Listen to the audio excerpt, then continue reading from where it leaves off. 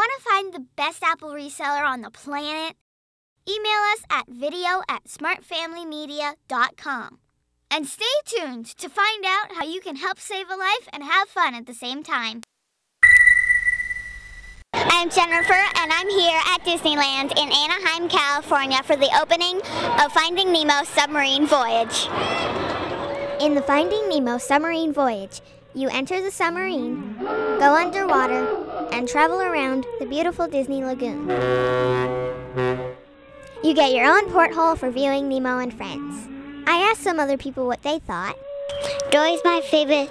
Dory keeps on swimming, swimming. It's based on the original ride that opened in 1959, and adults love it too.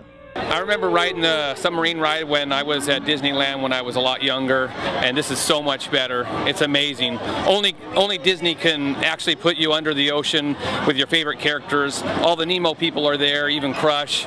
You got to ride this ride, dude. There's still time to book your family vacation during Walt Disney's Year of a Million Dreams. Call 1 800 828 0228 or your local travel agent today.